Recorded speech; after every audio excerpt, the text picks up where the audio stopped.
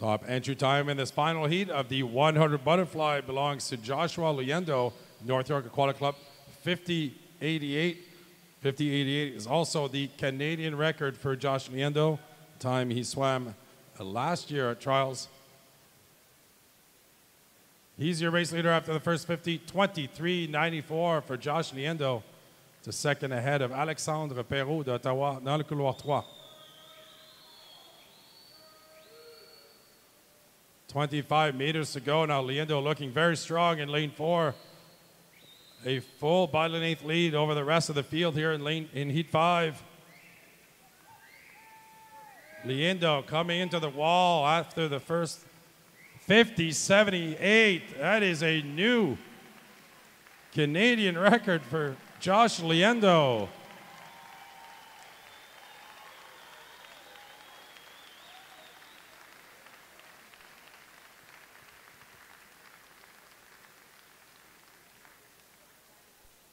The result on the board is official. That is a new Canadian record for Josh Liendo, 50 78 in winning Heat 5. Congratulations to Josh.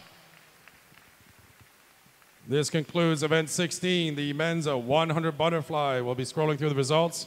No surprise, the new Canadian record, Josh Liendo, is first going into this evening's finals.